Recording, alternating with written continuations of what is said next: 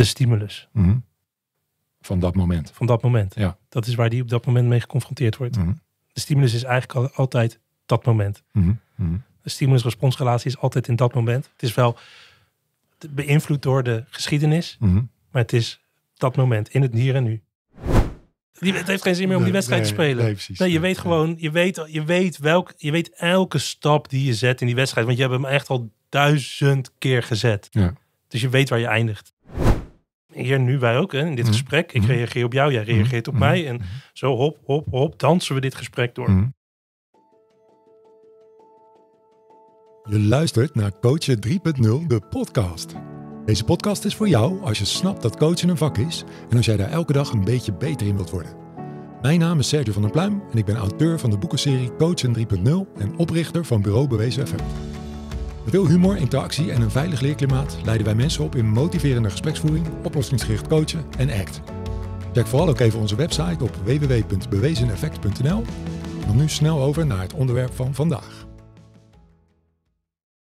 Ik zit hier met Richard van Romunde. Richard, welkom in de podcast. Ja, dankjewel. Superleuk om hier te zijn. Ja, Ja. eens gelijks. Ik eh, ontmoet jou voor het eerst vandaag. Ja. Althans in levende lijven. Ik heb je, eh, even kijken, via LinkedIn wel eens voorbij zien komen, Ja. uiteraard. Ik heb je podcast eh, beluisterd, een aantal Leuk, eh, leuk. episodes, samen met Marjolein Vleugel. Ja. En eh, ja, vandaag hoogste tijd om elkaar eens te spreken. Ja, superleuk. Jij bent onder andere, althans dat staat op je LinkedIn profiel, ben je psychosociaal therapeut en hypnotherapeut. Ja.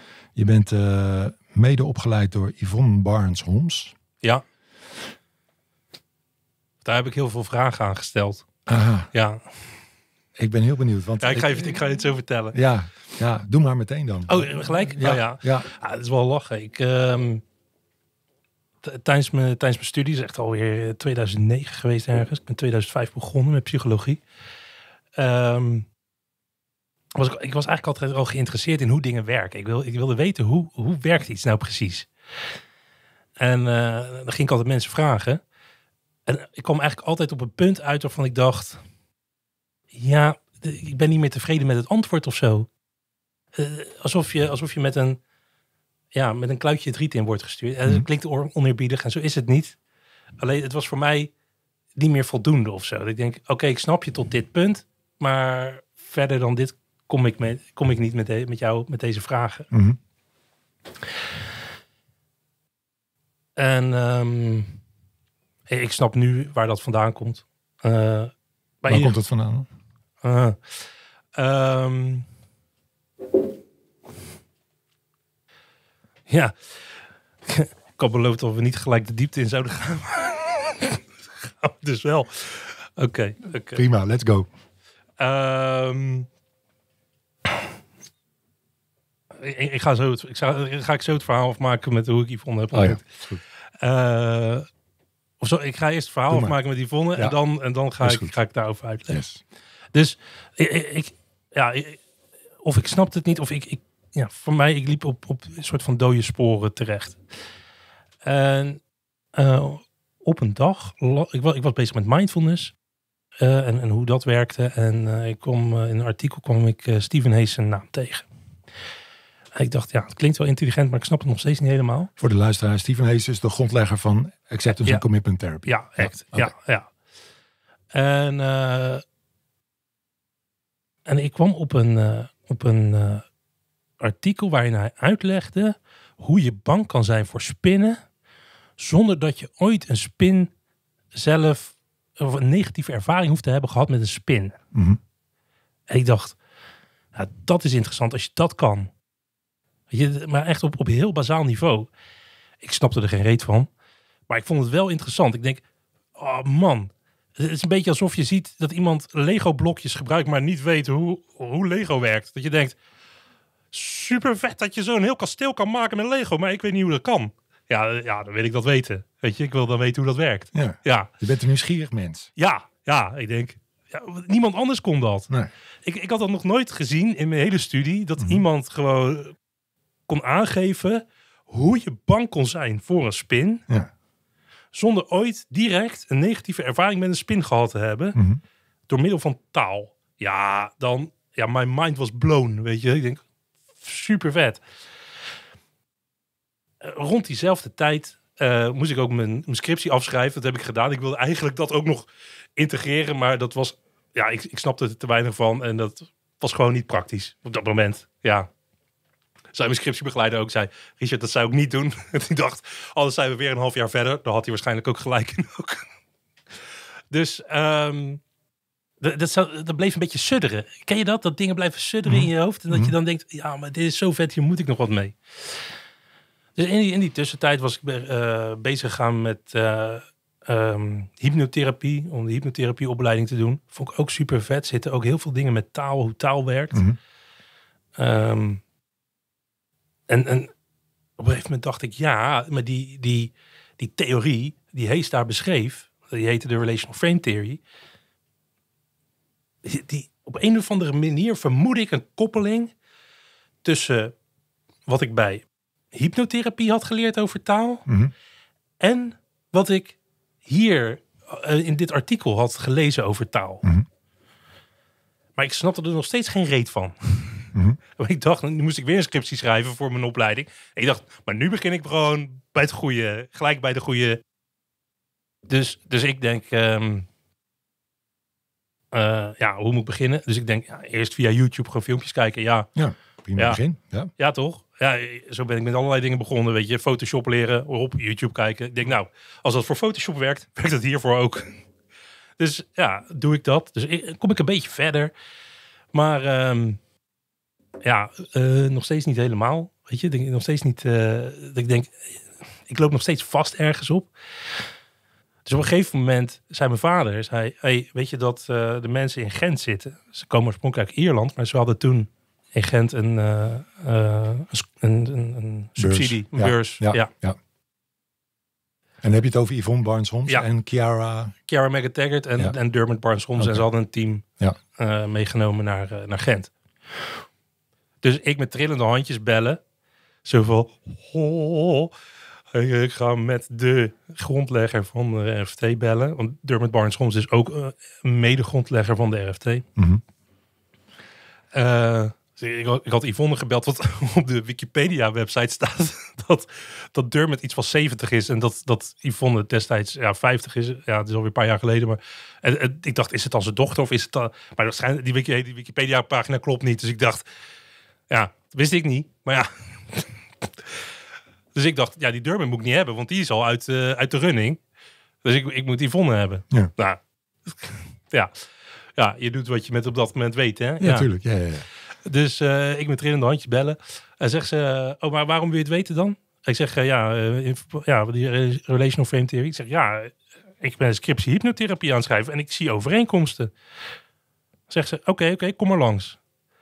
Dus ik denk, wow, super vet, ik mag langskomen. Dus ik langskomen, eh, eh, eerst eh, gesprek gehad over wat wetenschap betekent en dat soort dingen. En sindsdien, ehm, eh, sinds toen heb ik eigenlijk één keer in de zoveel tijd met hun een gesprek mogen hebben. Als ik gewoon vragen heb, eh, ja, dan, dan mocht ik die stellen aan hun. Super tof. Ja, heel vet. Dus ja, Hey, even Zo- zo voor de, de gemiddelde luisteraar. Er zijn niet heel veel mensen, denk ik, eh, die relational frame theory eh, nee. weten wat het is en Nee. snappen. Kun jij in lekentermen uitleggen, wat is dat voor theorie en wat heb je eraan? Oké, ja, eerst, ten eerste, het is gebaseerd op het behaviorisme. En dat is gebaseerd op stimulus-responsrelaties. Mhm. De meeste mensen kennen dat van conditioneren. Mhm. Weet je, je, je presenteert een stimulus aan een hond. hè, eh, bijvoorbeeld fluitje, Hm. zoiets. En dan moet hij gaan zitten. Dat is de respons. Mhm. En dan geef je hem een, eh, een koekje. Ja. Eh, dat is een consequentie of een, nog een stimulus. Mhm. Ja. Dus dat, dat is hoe de meeste mensen het kennen.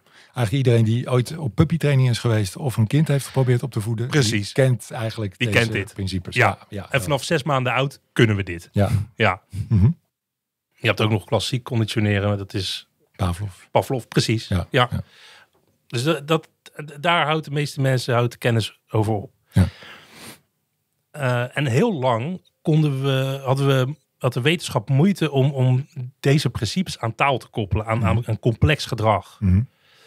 En de relational frame theory geeft de mogelijkheid om, om, deze, om dit gedachtegoed aan complex gedrag te koppelen. Mhm. Ehm, en, en als je erover nadenkt, is dat heel logisch. Want het enige wat stimulus-respons betekent, is dat ik iets doe, Mhm. respons, ehm naar aanleiding van iets waarmee ik geconfronteerd word. Een stimulus. En dat kan ook taal zijn. Dat kan alles zijn. Ja. Eh, binnen, buiten, een, een gevoel, een gedachte, een, eh, eh, een, het gevoel van hier de, een soort van bedompigheid dat ik, de, Ja. dat ik het raam wil openzetten. Hè? Ja. Dus het gevoel bedompigheid, ik noem het even bedompigheid. Ja, ja, ja, ja. Ja, dan, ja, mijn respons is een raam openzetten. En het kan ook het woord spin zijn. Kan, precies, Ja. precies. Dus het woord spin eh, kan bij mij een respons oproepen. Mhm. Alleen dieren, die moeten, die moeten een, een directe ervaring hebben gehad met een, met een spin of met iets anders. Om, om daar een respons bij te krijgen. Ja, als je tegen een hond zegt pas op een spin, dan Gebeurt er niks. Dan gebeurt er niks. Nee. nee. Eh, ja, misschien, misschien dat hij weet als jij bang bent. Weet je, dat, dat Ja. hij iets ziet. Maar het, is niet, het gaat niet om het woord. Het Nee, gaat om nee. jouw daadwerkelijke ja, uiting. Ja. Eh, ja, mijn, mijn, het hondje van mijn vader, Ja. die, die is eh, op straat opgevoed. Of opgevoed, die is op straat groot geworden. Ja. in Spanje. En die heeft altijd honger gehad. En tegenwoordig eh, rent hij op alles wat los en vast zit qua eten, rent hij op af. Maar dat, dat komt omdat hij die honger heeft gehad. Mhm. Niet omdat iemand hem verteld heeft over wat honger is. Ja. Ja. Maar ik kan dus iemand vertellen over wat honger is. En daar kan ik heel verhaal over maken. Bijvoorbeeld dat ik zeg, oké, eh, als je honger hebt, heb je te weinig gegeten. Maar als je echt heel veel, heel veel te weinig hebt gegeten, dan heb je echt honger. Mhm. Maar daar moet je wel heel erg voor oppassen, want dat is heel gevaarlijk. Want anders ga je misschien wel dood als je heel veel, heel veel honger hebt. Dus je moet oppassen dat je nooit heel veel, heel veel honger hebt. Mhm. Ja. Heb ik een heel verhaal gemaakt. Ja. Hoef maar één keer te doen. En sindsdien denk jij, oh nee, als ik maar geen honger heb. Mhm. Wat dat dan ook precies mag betekenen. Mhm. Maar honger, daarvoor moet ik opletten. Foute boel. Ja. Bij dieren lukt je dat niet. Nee. Lukt je gewoon niet. En dit is goed en slecht nieuws. Precies. Pre- eh, inderdaad.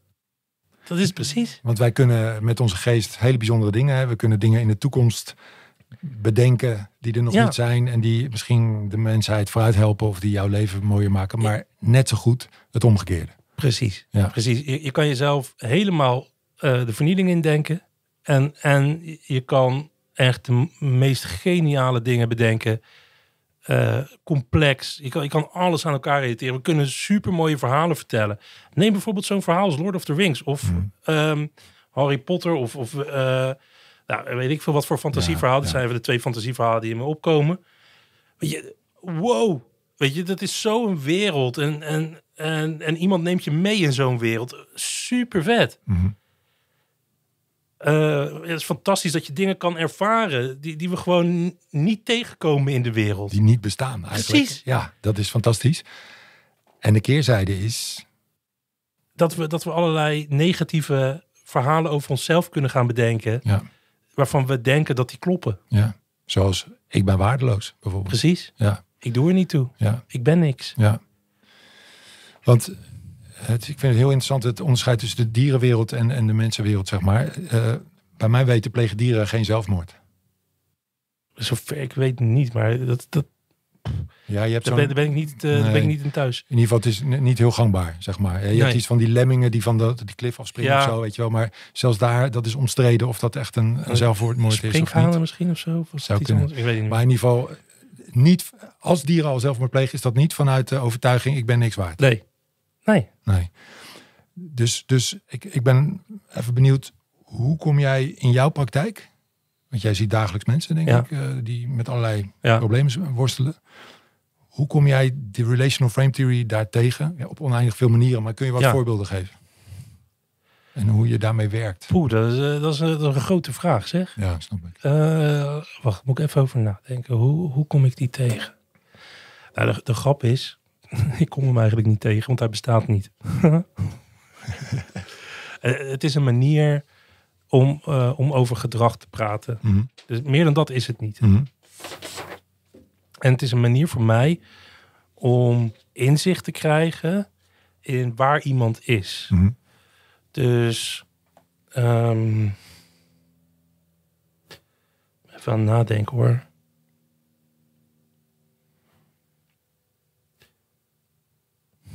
Weet je, weet je bijvoorbeeld, hè, oh, oh, je kent dat wel, als mensen een beetje voorover gebogen lopen, eh, met de schouders naar beneden. Mhm. Wat denk jij dat die persoon over zichzelf denkt? Ja, dat weet ik natuurlijk niet, maar hij zal niet, waarschijnlijk niet blaken van zelfvertrouwen. Dus de beste kans dat hij inderdaad gedachten heeft als, eh, ja, ik doe er niet toe. Nee, ik zeg niet dat je het weet. Ik zeg wat, jij, wat je inschat. Hè? Wat je, Ja, inschat. ja, dat schat ik in. En ik denk dat je dat correct inschat. Mhm.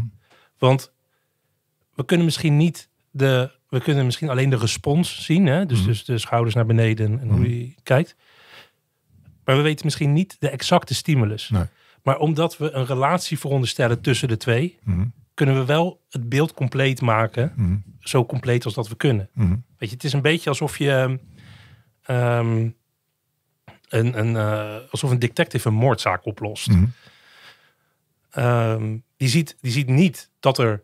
Die ziet niet de moord die er gepleegd wordt. Mhm. Weet je, die ziet niet het gedrag zelf. Mhm. Maar die ziet wel eh, allerlei dingen waar, die er gebruikt zijn om dat te doen. En, en hoe de situatie is. Mhm. Dus die ziet waarmee er geïnteracteerd is. Ja. Die ziet dus die interactie, die stimulus-respons interactie. Dus dat is een beetje hetzelfde hier. Dus ik zie een gedeelte van die interactie, zie ik. Mhm. Namelijk dus hangende ha- schouders en, en misschien wat naar beneden kijken, wat somber. En daarmee, en met, nog veel meer dingen die, die de cliënt laat zien. Ja.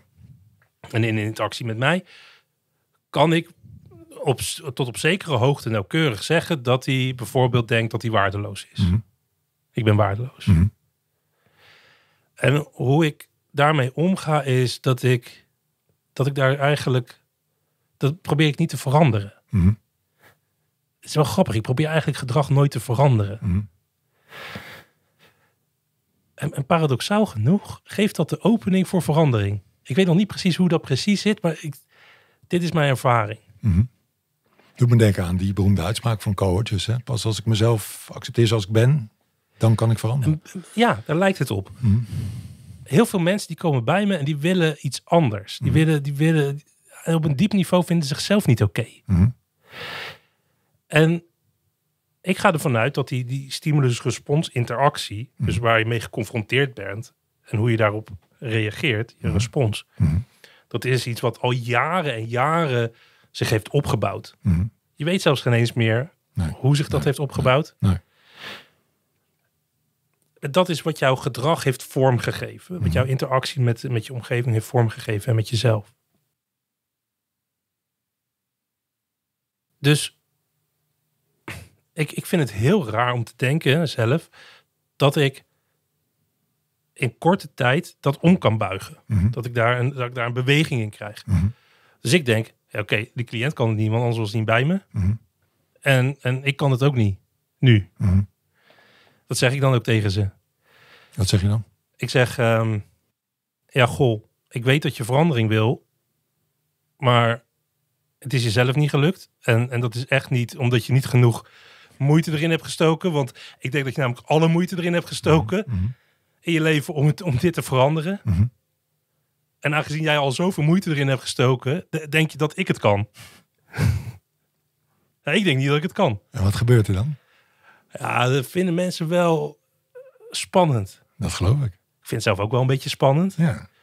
Je, je, je krijgt wel een, een bepaalde spanning in de ruimte.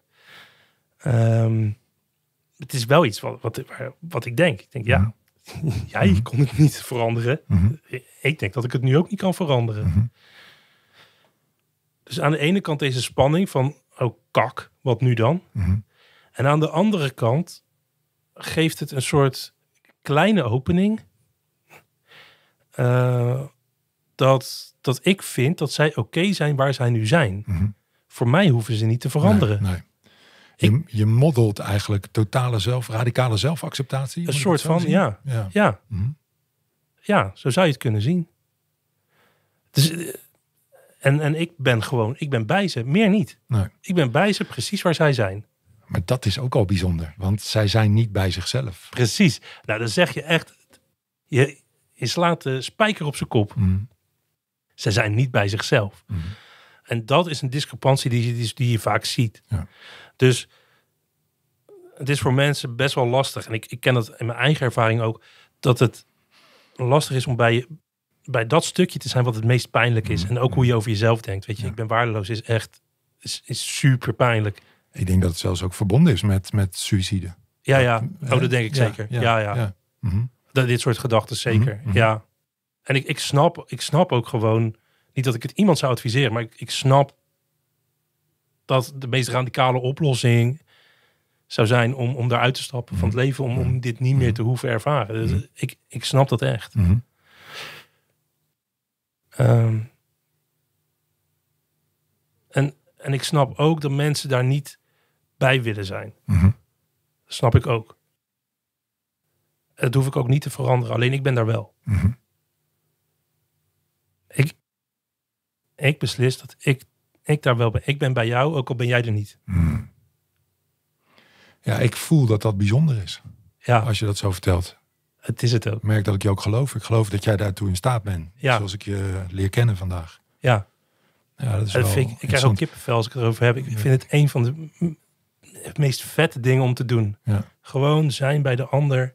Soms stel ik ook wel eens de vraag, hey, waar ben je? In mijn, in mijn hoofd, Mhm. niet, niet Oh, oké. Uh-huh. Aan, aan jezelf of aan die ander? Aan mezelf gewoon Ja. van, hey, waar ben je eigenlijk? Ja. En dan om, om af te stemmen. Om, af te, om mezelf af te stemmen op waar die ander is. Mhm. Ge- gevoelsmatig. Mhm. Het, het is niet een, het is niet een gedachte meer gewoon om mezelf een soort van, om mijn eigen instrument als het ware Mhm. af te stemmen. Alsof je een stemvork gebruikt. Interessant.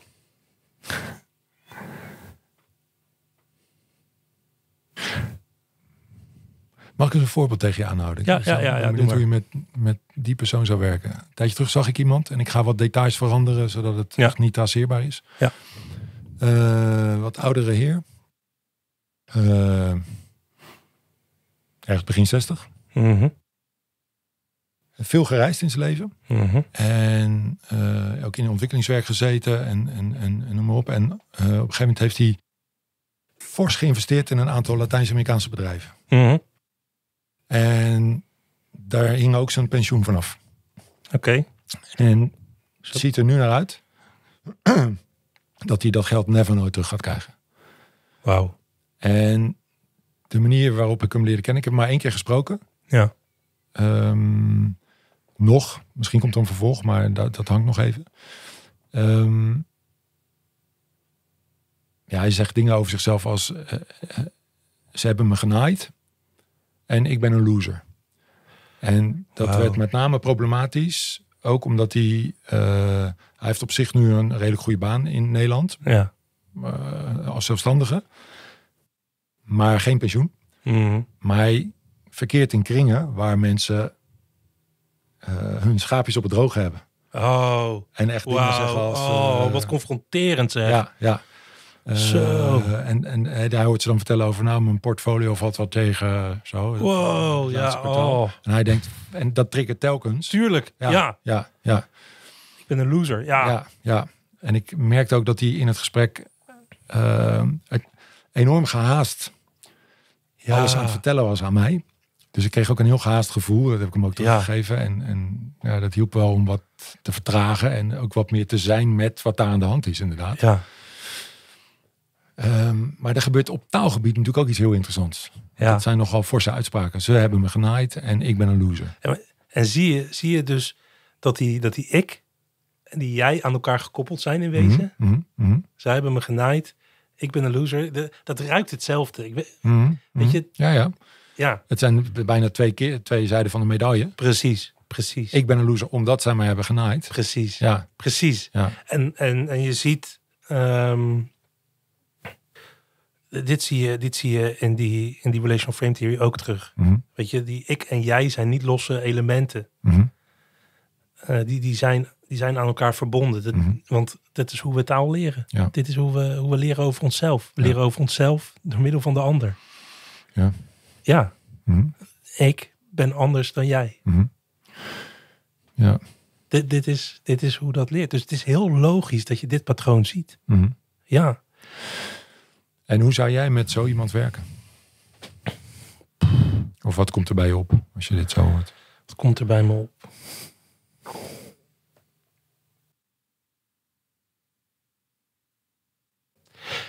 Het, eer- het eerste wat ik zou zeggen Ook omdat het het eerste is wat bij me helemaal opkomt. Gewoon als ik, als ik, als ik me indenk.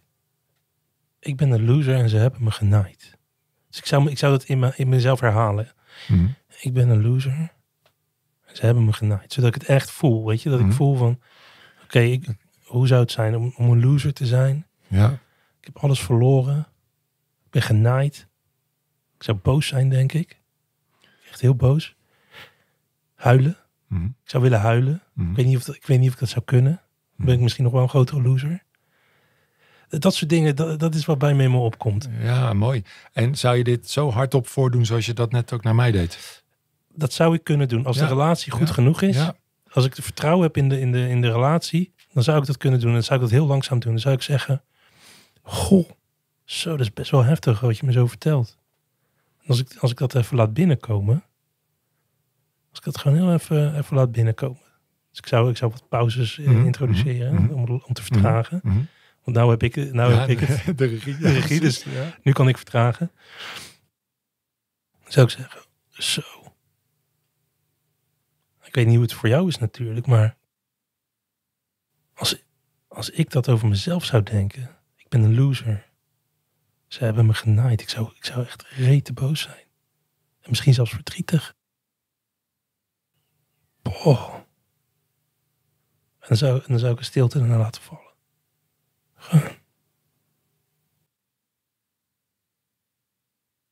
En dan, en dan krijg je vaak een respons van, ja, Hmm.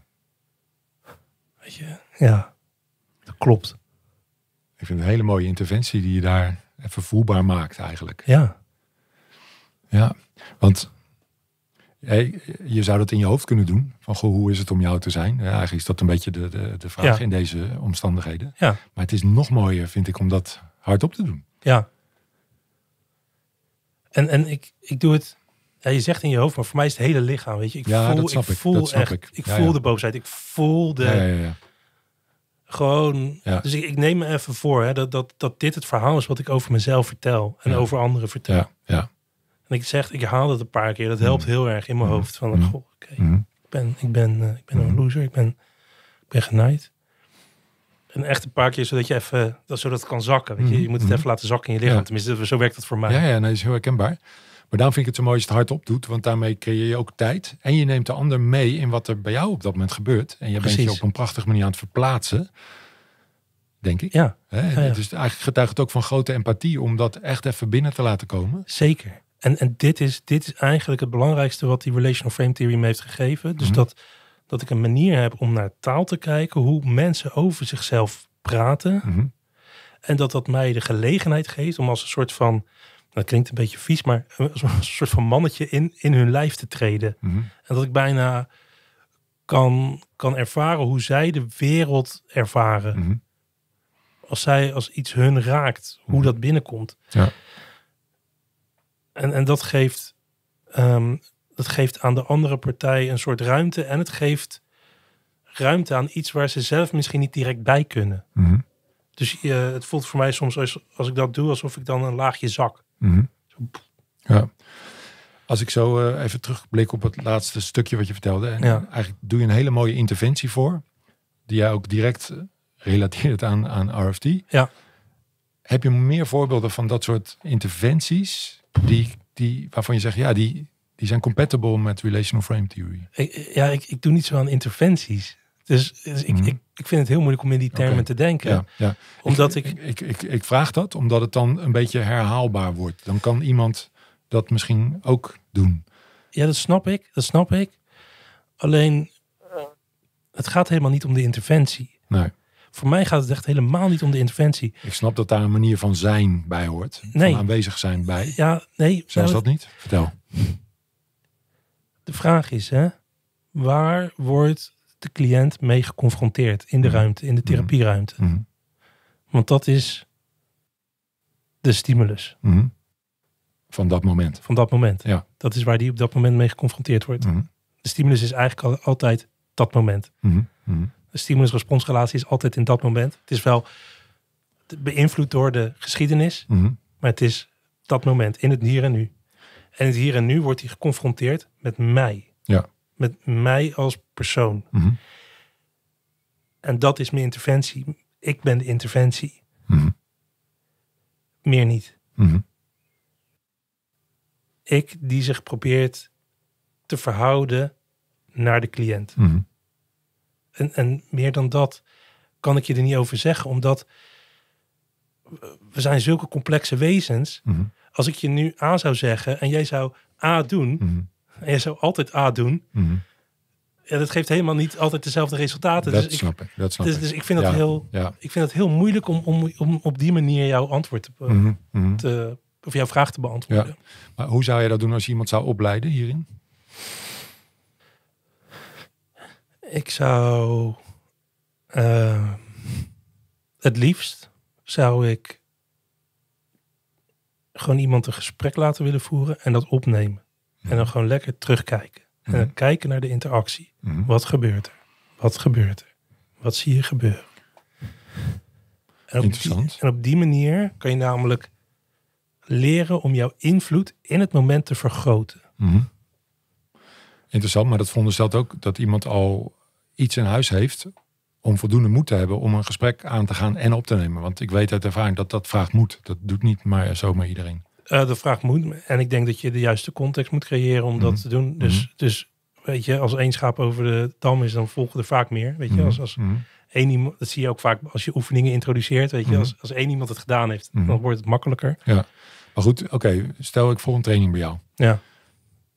Dan, eh, ik neem aan dat je me niet meteen weer naar huis stuurt en zegt, ga maar een gesprek opnemen. Dus wat, Nee, nee, nee, wat ik ga- nee, nee, vooraf? Nee, ik, in de, dus Ah. in de training. Oh, oké. In de training Ah. gaan we hem samen nakijken. Ja, nee, nee, hoe- het is geen huiswerk. Nee, oké, dus in, het, in de training gaat een cursist een gesprek voeren Precies. met een cliënt. Misschien een andere cursist Ja, een andere cursist. Ja. is. Dat neem je op ja, en dat ga je samen terugkijken. gaan we samen met z'n allen terugkijken. Gaan we gewoon allen? kijken, Wat kijk, is hier gebeurd? wat gebeurt hier? Wat zien we in de actie? De een doet iets. Hoe, weet je, ik zie het als een dans. Mhm. Weet je, hier nu wij ook, hè, in dit Mhm. gesprek. Ik Mhm. reageer op jou, jij reageert op mij. En zo hop, hop, hop, dansen we dit gesprek door. Hè, weet je, met een dans is dat hetzelfde. Ik maak een pasje en dan maakt de ander, op basis van mijn pasje, Mhm. maakt de ander een pasje. Mhm. En op basis daarvan maak ik weer een pasje. Mhm. En zo draait dat.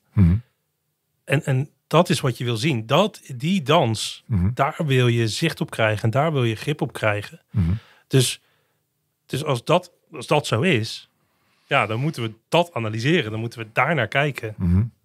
En hoe verhoudt zich dat tot stimuli uit het verleden, waar de cliënt nog steeds ja, mee worstelt als het ware? Ofwel uit Nou- angst van misschien komen die stimuli weer en dan ga ik weer doen, doen wat Dat- niet kan. voor mij werkt. Maar dat is. Dat is wel grappig. Ik, ik, ik was laatst een, ehm, een filmpje aan het kijken van Linda Hayes. Dat is, dat is de ex van Steven. Oh, oké. Ja. Eh, heel ander type. Wel lachen hoor. Ehm, en zij, zij legt uit. Dat is vanuit een andere stroming. Interbehaviorisme. Eh, maar vanuit die stroming legt ze uit. Dat ze niet in geheugen gelooft. Want wat zij zegt is. Die interactie zelf is het geheugen. Mhm. Het is niet zo dat we ergens een geheugen hebben, maar die, de geheugen zit in de interactie. Ik volg deze. Nee, snap ik, snap ik, snap Mhm. ik. Oké, ik, ik, ik- eens kijken of ik hem uit kan leggen. Oh ja. Dus weet je nog dat hondje van mijn vader, Pico? Mhm. Ja? Hij weet niet dat hij honger heeft en dat hij, eh, dat- dat- hij daarom, weet je, omdat hij dat verleden, die, dat verleden had, dat hij daarom nu alles wil eten wat, wat los en vast zit. Mhm. Het is niet zo dat hij daar herinnering aan heeft. En omdat hij dat herinnert, dat hij nu besluit dat hij alles maar wil eten. Mhm. Nee. In de geschiedenis heeft hij honger gehad. Mhm. En er was er niks te eten. Mhm. En als er iets te eten was, dan dook hij er bovenop. Want misschien was het wel ehm, het enige in een, in, een, in een lange tijd. Mhm. Dat is de interactie met zijn omgeving. En die interactie die zet zich door. En, en dat is het. Dus in, die omgeving, als dat lang genoeg gebeurt, dus als je lang genoeg maar dezelfde interactie hebt, dan kan jouw omgeving wisselen, Mhm. maar jouw gedrag blijft voortbestaan. Mhm. Daar heb je helemaal geen geheugen voor nodig. Dat is gewoon training. Mhm. Ja, wacht even. Ja, Als ik, als ik eh, eerst, eh, als ik, oké, ik, ik leer Spaans, ik ga naar Spanje, ik kan een biertje bestellen, eh, dat heb ik getraind. Maar daar doet mijn geheugen dan toch ook aan mee? Oké, Jij kan, kan ehm, door dat willekeurig relateren, door allerlei dingen, Mhm, mhm, door die relational frame theory, door allerlei dingen aan elkaar te koppelen die niks met elkaar te maken hebben. mhm. Zoals ik dat ik zeg, mijn kopje heet vandaag Janneke. Dan zeg ik, welkom Janneke. Ja, Oké, voor de luisteraar. Ik beschrijf even Richard. Richard pakt zijn theekop en Ja. zegt mijn theekop heet vandaag Janneke. mijn, eh, mijn theekop heet vandaag Janneke. Hey Sergio, kan je vandaag even eh, hallo zeggen tegen Janneke? Ja, ik ben niet helemaal gek geworden. Ja, ja, Sergio. eh, hallo zeg tegen jouw Ja, theekopje. ja, maar zeg even hallo. Zeg Oh. even hallo tegen Janneke. Uh, omdat jij het vraagt. Oké, hallo Janneke. Ja, da- dankjewel. Ja, leuk dat je dat deed. Oké, dus ja, alle twee de reacties waren terecht. hey, je zegt, ja, waarom zou ik tegen jouw theekopje nou eh, hallo gaan zeggen? Heel terecht. Want dan beschrijf je het nog steeds als een theekopje. Maar ik zeg, dit theekopje heet Janneke. En Janneke is een naam. En een naam relateren we aan personen. En aan personen zeggen we hallo. Dus nu dat mijn theekopje Janneke heet, is het ook heel legitiem om te zeggen, hallo Janneke. Ja. En dat is gewoon door taal, hè? Oké, Ja, ik weet niet of de luisteraars eh, nog eh, aangehaakt blijven nu. Of dat ze denken dat wij helemaal... oké. Dus, dus breng het eens terug naar... Stel eens, hè? Stel eens voor. Stel eens voor. Mhm. Dit is Janneke. Ja. Janneke is een alleenstaande moeder. Ja? Vier kinderen. Mhm. Mijn echt de liefste moeder ter wereld. Kleng! Ik laat het klopje vallen. Wat doet dat met je? Ja, is wel zielig voor Janneke. Precies, precies. precies. Er zit hier iemand tegenover mij ontzettend te glimmen en Ja. te grinniken. Ehm, en hiermee heb jij een belangrijk aspect van de relational frame theory Precies. aangetoond. Precies. Eh, eh, Dus- Leg dat eens uit aan de luisteraar. Eerst was het kopje was neutraal. Ja, Was, eh, weet je, het kopje deed er niet toe. nee. was, was helemaal niet interessant. Zo'n theekopje. Ja. Gewoon een theekopje. Ja. Nee, zit lekker uit te drinken. Helemaal niks aan de hand. Dus ik zeg, de theekopje is Janneke. Dus ik heb nu twee stimuli aan elkaar verbonden, namelijk theekopje en Janneke. Door het woordje is. Dus je hebt dat nu gerelateerd aan elkaar. Daar heb ik een heel mooi verhaal gemaakt wie Janneke is. En, en ik heb haar heel, eh, ja, ik wil zeggen aantrekkelijk, maar niet aantrekkelijk in de zin van ze is mooi, maar wel Menselijk. menselijk en je geeft om haar. Ja, Weet je? Je, je, je wil dat het goed gaat met, met, met dit Klopt. persoon op theekopje. En dan gooi ik het theekopje kapot. Dus, dus het theekopje is niet kapot. Ja, ook. Maar Janneke is kapot. Mm, Die dierbare Janneke. mm, Ja, en dat raakt je. mm. Dat is logisch, het raakt mij ook nu ik het zo zeg. Ja. Maar er is niks gebeurd. Er is alleen een feitelijk gezien Mhm. heb ik een verhaal gemaakt om, Jan- om, om theekopje en die heb ik kapot gegooid. Mhm. Ja, misschien als je heel gehecht bent aan theekopje, vind je het jammer. Mhm. Maar anders, nee. Hij gaat nog verder, want het theekopje staat daar nog gewoon, is helemaal heel. Ja, En toch hebben wij allemaal iets beleefd ook bij dit verhaal. precies. Dus zelfs de voorstelling aan een theekopje dat Janneke heet en dat kapot valt en dat eigenlijk een alleenstaande moeder is, zelfs dat raakt ons. Precies. Precies. Hmm. Precies. En dat is wat taal doet. Ja. Dus wat je, wat, hoe je technisch zou kunnen zeggen. Mhm. Eerst had het theekopje, wat hier stond, had een neutrale functie. Mhm. Eh, niet echt een hele duidelijke, aantrekkelijk of, of dat we er van weg willen. Aversief. Aversieve functie. Oh. Ja. Dit hoor je natuurlijk. Ja, ja. Mijn, mijn theekopje tegen Ja, de tafel. ja. Ehm, maar dus het, het, had een, het had een neutrale of een, of een ja, neutrale functie, zeggen we dan. Het betekende niet in eerste instantie heel veel voor ons. Nee. Emotioneel of Nee. anders. Nee. En toen ik het Janneke ging noemen, toen begon het al wat ja, aantrekkelijker te worden. Of wat, we kregen we wat warmere gevoelens. Mhm. Maar toen ik al zei, oh, dit is, dit is echt, eh, weet je, dit is alleenstaande moeder. alleenstaande vier moeder, kinderen, vier ze is heel kind- lief. Precies, Ja, ja. echt de liefste moeder die je kent. Mhm. Het zijn allemaal woorden en koppelingen die, die Die lading hebben. die lading hebben. En die lading, die krijgt Janneke. Maar omdat Janneke het theekopje is, door het woordje is, gaat het ook naar het kopje. Ja, ik snap hem. En dan even terug naar die spin. Want begrijp ik... Ja, ja, heel goed. Maar laat me checken of ik hem begrijp. Ja, ik denk het wel. We gaan zien. Eh, Oké, er is een kind van, laten we zeggen, drie. Die kent Ja. het woord spin nog niet. Ja. Of twee, maakt niet uit. En die is lekker door huis aan het kruipen. Ouders slapen nog zondagmorgen. En die ziet een spinnetje. Ja.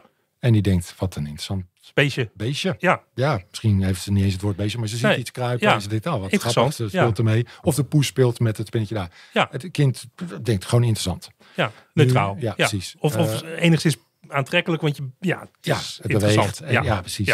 En dan het kind wordt ouder, hoort misschien een verhaal van iemand over hoe dat er giftige spinnen bestaan en dat spinnen Ja. of, of, of praat met iemand die al heel bang is voor spinnen precies. en legt koppelingen, net als wij net met het kopje. precies. Oh nee, spinnen zijn een beetje eng Precies. of zelfs heel eng en gevaarlijk.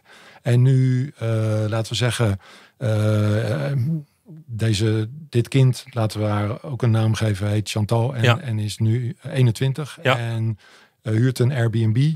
En denkt, oh wat leuk, ja, met uitzicht op zee. Ja, Ja, fantastisch. Ja. En, en weet je wel, ze staat op het punt om naar binnen te gaan. Ze hoort, Ja. En dan hoort ze nog net van, oh ja, er zitten wel een paar spinnen Ja. in het appartement. Ah, ja.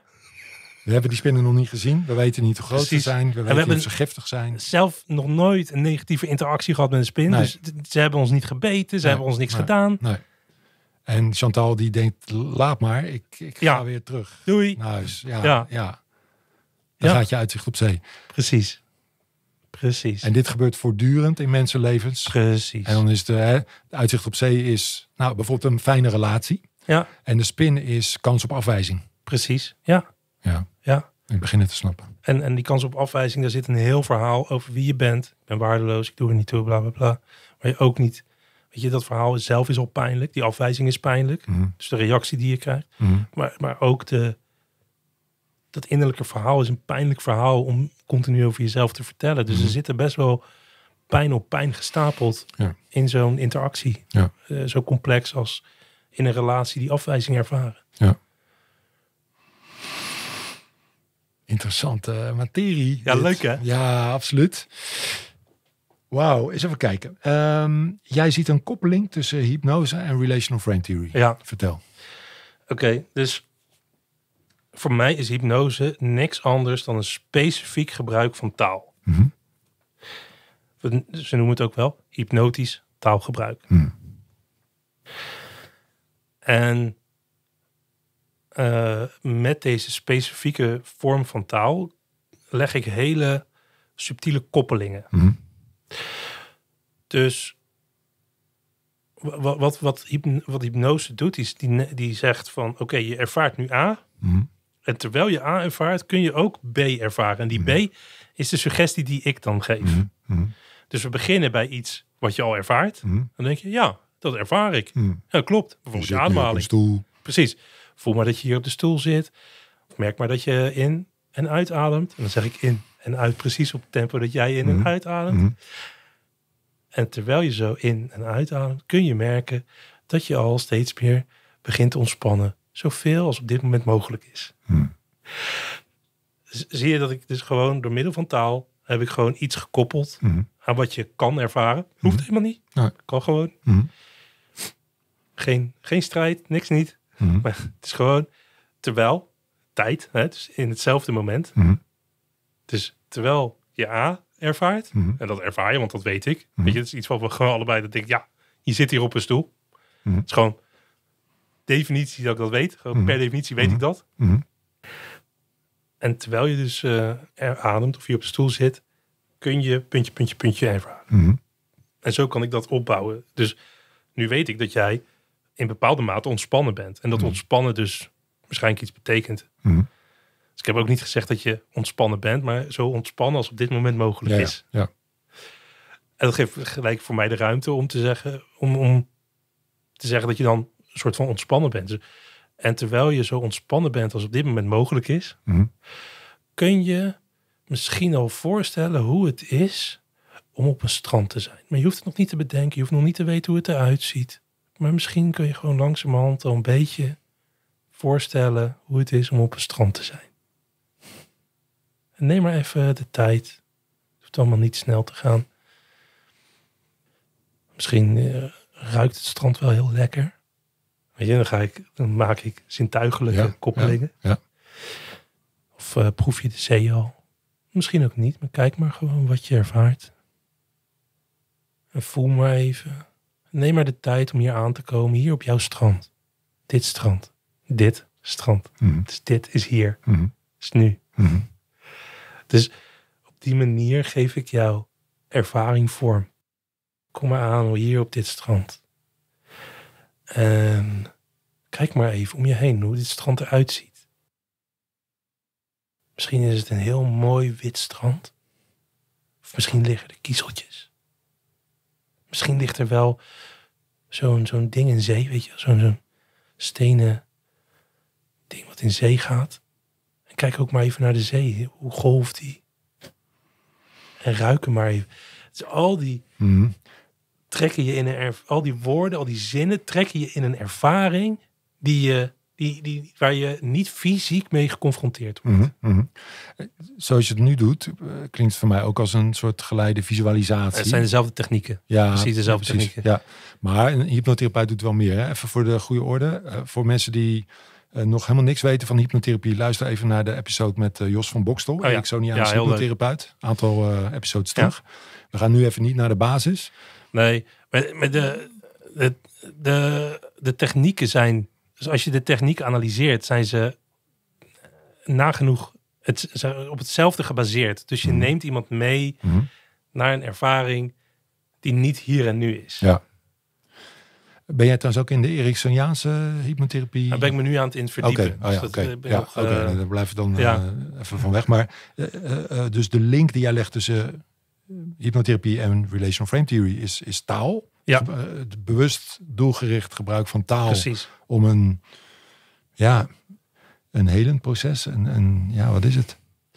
Nou, voor mij is het om, om de persoon meer te betrekken in de relatie met mij. Mhm. En, in, en, en om hem uit te nodigen om, om hier te komen waar, waar ik ben. Mhm.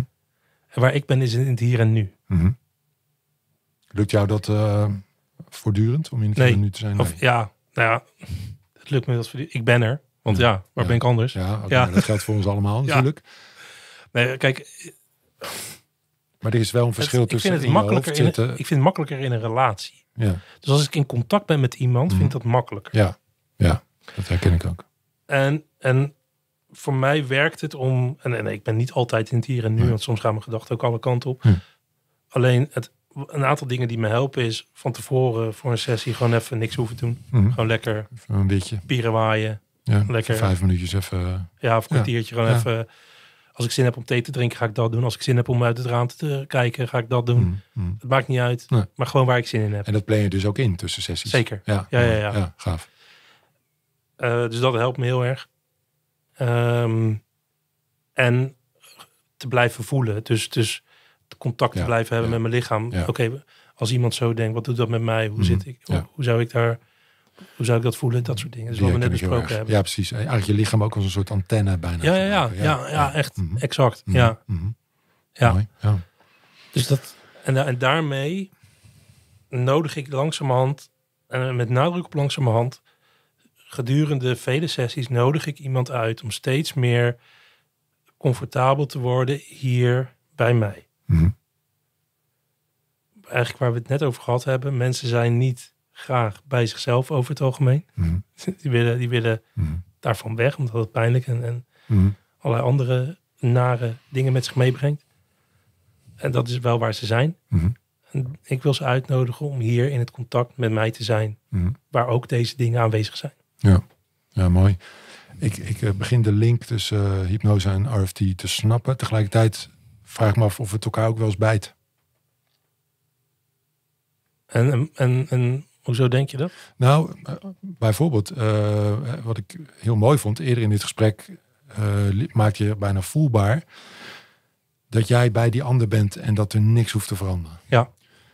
Zoals ik Ericksoniaanse hypnotherapie heb leren kennen, ehm, is dat misschien wel een soort van Ja. onderstroom, maar tegelijkertijd, weet je wel, doe je ook allerlei suggesties Ja. die suggereren dat er dingen mogen veranderen. Ja. Niet heel dwingend, niet heel top-down, maar wel Bij mij, faciliterend. bij mij mag er veranderd worden, maar Ja. het hoeft niet. Oh ja, oké. Ja. Dus het maakt me niet uit wat er gebeurt. Mm. Dus, continu, dus dat is de paradox. Mhm. Er hoeft niks te veranderen. Niem- iemand hoeft niet ergens anders te staan dan waar die nu staat. Mhm.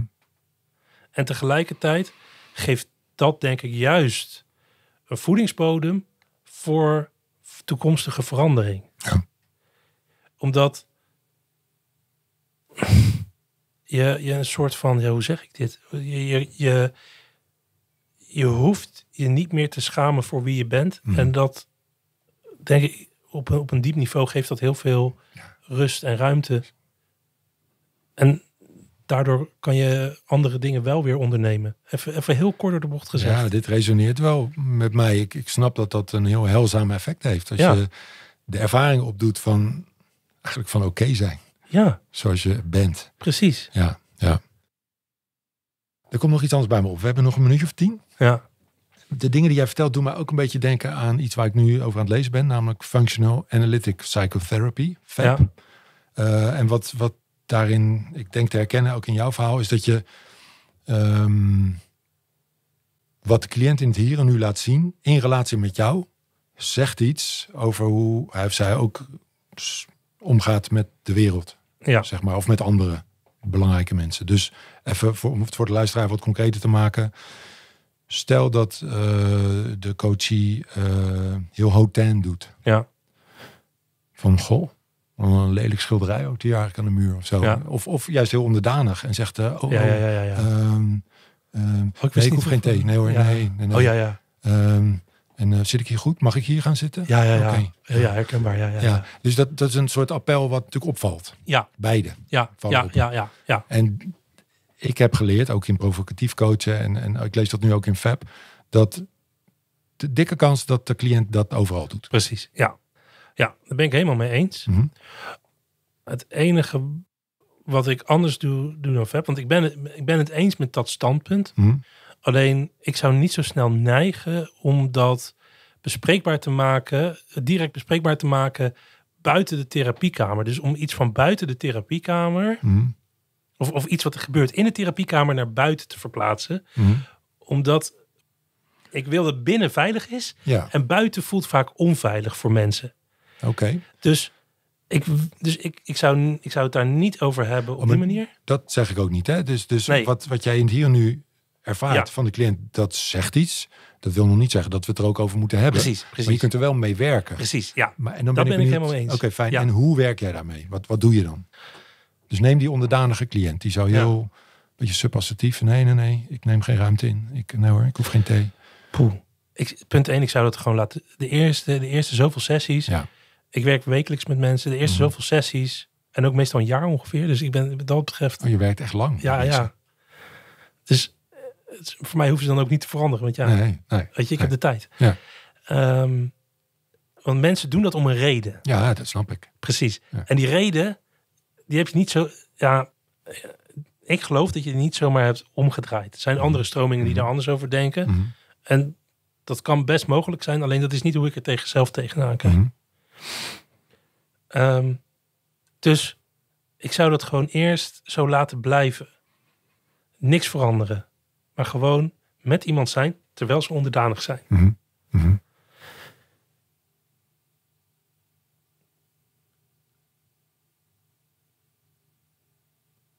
Je wordt hier heel diep nagedacht. Ja, ja, ik zit even heel diep na te denken, omdat ik stel me even voor, er is iemand heel, heel onderdanig. Wat ik zou doen is, ik zou gaan kijken naar, oké, wat heeft er allemaal te maken met die onder, on- onderdanigheid? Mhm. Wat, voor, wat, voor ze, wat voor ik zit daar, weet je, wat, voor, Mhm. wat, denkt iemand over zichzelf? Mhm. Denkt misschien iemand meerdere dingen over zichzelf die ook nog tegenovergesteld staan? Want is, er, is iemand altijd onderdanig? Of is iemand onderdanig en dan barst het ineens en dan is iemand, ah! Dus heb je, is er alleen een muis of is er ook een leeuw? Weet je? Of buitenshuis een muis en binnenshuis eh, krijgt de hond een schop. Of, Precies, eh, precies. Ja. Dus, dus, Mhm. dus eh, hoe, hoe ziet dat eruit? Mhm. En, en, en weet je, hoe verhouden die, zeg maar, die verhalen, die, die, die ik-verhalen, eh, tot elkaar? Mhm. Dus da- daar ben ik als eerst mee bezig. Ja. En terwijl ik daarmee bezig ben, ben ik continu bezig om die ander uit te nodigen. En dat kan op hele subtiele manieren. Dus een van de dingen die ik doe, is ik, ehm, ik geef mensen altijd complimenten als ze binnenkomen. En, Waarvoor? voor hun schoenen. Oh, Voor, voor uiterlijk. meestal, ja, dat is het makkelijkst. Hm, Ja, prima. Gewoon eh, dingen als, oh, wat leuke oorbellen heb je. in. Of, eh, oh, wat staat die kleur je goed. Hm. Of, eh, hey, ben je, ben je lekker eh, weg geweest? Je hebt een lekker bruin kleurtje. Hm. Of, eh, weet je wel, zoiets. Ja, ja. Of, ehm, gewoon Iets. Iets. Ja, iets, iets wat niet al te beladen. beladen is. Gewoon echt lekker klein. Ja. Gewoon zo onbenullig als je maar kan bedenken. Ja. Zodat niet iemand kan zeggen, oh ja, maar dat is helemaal niet zo. Of, het eh, was een uitverkoopje. Ja, ze uitverkoop. Ja, zeggen sommigen. En als ik dan zeg, ja, dan staat je nog steeds heel leuk. Ja, Ja, precies. Ah, kijk, we hebben nog vijf minuten. ja. Dus dat soort dingen. En ik ben continu bezig met, je bent hier welkom. Je bent hier welkom. Ik ben bij je. Je bent hier welkom.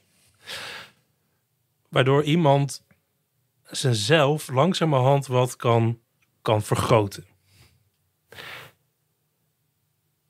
En op een gegeven moment krijg je een soort van dat dat, dat positieve zelf wat aantrekkelijker begint te worden dan, dan dat negatieve zelf. En dan, dan, en dan begint er een soort van, dan krijg je een soort van verschuiving die, die, die een meerdere kanten op kan. Weet je, die, Mhm.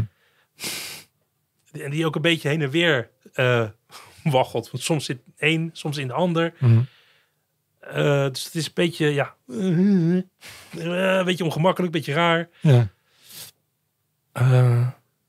En, en dat is, weet je, als je dat opbouwt, die spanning, dan geloof ik dat je op een gegeven moment ergens komt bij creatieve hopeloosheid. Mhm. Ik weet niet of je luisteraars weten wat dat is. Leg het eh, nog eens in je eigen woorden uit. En voor mij, creatieve hopeloosheid, is dat een soort van je strategie ehm, samen met dat zelfbeeld, alsof dat niet meer is wat je wil, maar je weet ook niet wat je anders moet. Mhm.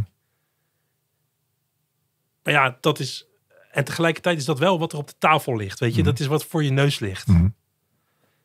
En dat een soort van daardoor heen zakken, door dat zelfbeeld, alle poten onder je vandaan voelen zakken. En, en voor mij voelde het, ik, heb het zelf ook ondergaan, voor mij voelde het, ik heb rugby gespeeld alsof ik getackeld werd en met mijn neus in de gras lag. Mhm. Alsof ik niemand meer, niet meer kon opstaan, want opstaan had geen zin meer. Dat was het oude gedrag toen. Maar ik wist ook niet wat ik anders moest. Dus ja, dan moet je maar blijven liggen. Ja, zo voelde dat echt heel, heel ongemakkelijk. Maar ook, ja, ja, dit is het. Ja, en, en dat nodigt ook uit om toch ook weer een keer op te staan. Want anders Het, blijf je uiteindelijk sta je nog een keer op. Ja, Eh, maar Maar niet, niet in de metafoor zelf. Want je, nee, doet, precies. Nee. je, je, je staat op vanuit een ander stuk. Ja, ja. Namelijk dat positieve stuk wat ik al die tijd heb lopen voeden. Mhm. Daar kan iemand nu op pakken. Maar iemand moet wel eerst Ja, door zijn hoeven gezakt zijn in dat, in dat ik-stuk. Ja, ik snap hem. Als we die metafoor van de rugbywedstrijd erbij pakken, dan staat iemand weer op nadat de wedstrijd voorbij is. Bij wijze van. Precies, precies. Ja. Het heeft geen zin meer om te spelen. Nee, want nee. je weet al waar je eindigt. Ja, ja. De, de wedstrijd is al verloren. Of in ieder geval, Precies. aan jou heeft het... Jij hebt het niet...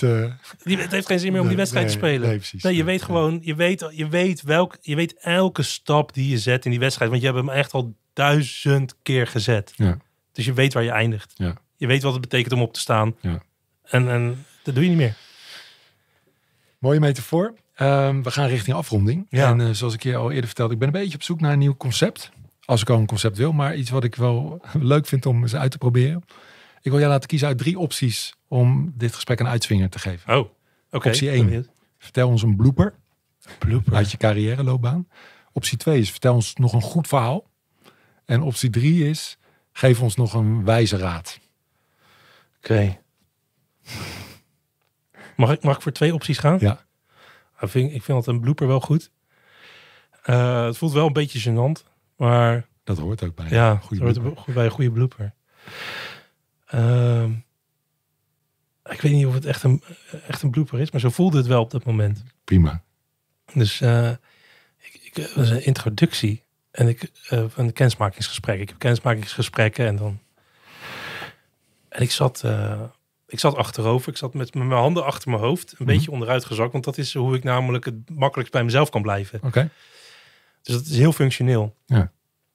En, eh, en ik was dus een beetje bezig met van, hey, waar ben jij? Ja. je, met die anderen. Ja. Waar, waar zit jij? Ja. Maar ik denk dat ik daarin te snel ga. En, en soms ga ik te snel en dan weet ik dat. Mhm. En, en dan, dan merk ik ook, oh, dit... Soms, soms dan kan ik het wel weer terugpakken. Weet je, als, ik, als ik echt alert ben. Mhm. Maar soms, en zeker als de relatie nog niet zo stevig is... en dat was het natuurlijk niet Mhm. met het eerste gesprek... Mhm. Ehm, dan, eh, dan kan ineens zo'n heel gesprek omslaan. En dat deed het hier. Dus ik kreeg echt zo'n mailtje van... Oh ja, je was niet professioneel en eh, je zat te wiebelen in je stoel. Ja, eh, ik ben met ADHD gediagnosticeerd. Ik zit te wiebelen in mijn stoel. Dat klopt. Ja, ja. Weet je, dat dat is- Zo ben ik. Ja. Zo ben ik. En dit, dit is zodat ik kan concentreren. Maar het voelde echt als een mega afwijzing. Ja. Ehm, dus, dus dat... En dat eigenlijk zijn de grootste bloopers als ik te snel ga. Oh ja. Ja, Ja, de- ja. Dus als ik nu even denk aan alle bloopers die ik gemaakt heb, is dat eigenlijk altijd De rode draad. de rode draad. En hoe is dit verder gegaan? Ehm, nou ja, dus zij, zij zei dat via de mail. Dus ik heb een mail gestuurd dat, dat dit is. Dat dit de functies, hè, weet je, dat dit de functies zijn van waarom ik doe wat ik doe. Ja. Zodat ik bij mezelf kan blijven en niet als respectloosheid naar, Nee, naar haar toe. En, en eh, dat ik het ook snap dat ze, dat ze iemand anders zoekt. eh, omdat eh, het belangrijkste is dat je een klik hebt. Hmm. Ja, ja. En eh, dat ik haar heel veel succes en sterkte wens Hmm. met, haar, met haar proces. Ja. Dus daar heb ik er niks meer van gehoord. Oké. Ehm, dus ik denk wel dat ik het netjes heb afgerond. Ja. Maar dat voelde wel een beetje als een blooper als je, als je soms gewoon te snel gaat. Ja. Ja. Ja. Ja. Ja, mooi verhaal. Ik zie, ik zie het je wat doen. Ja. Ja. En, eh, en de wijze raad is... ehm, ik, ik, ik gun het zo dat, dat therapeuten en coaches en, en behandelaren... ehm, realiseren hoe waardevol zijn in het contact met hun cliënten. Want dat... Ik denk dat we dat langzamerhand eh, onderschat hebben. En, en als ik één ding hopelijk heb meegegeven vandaag, dan, dan, dan hoop ik dat het dat is. Dat, dat, dat je weet hoe waardevol jij bent in, in contact met je cliënten. Wauw. Ja, Wat een mooie om, eh, om mee te eindigen. Besef hoe waardevol je bent. ja, Ontzettend bedankt. eh ja graag gedaan. was elkaar de superleuk. Ja, was Ja. een mooi gesprek. Ik heb ervan Ja. genoten.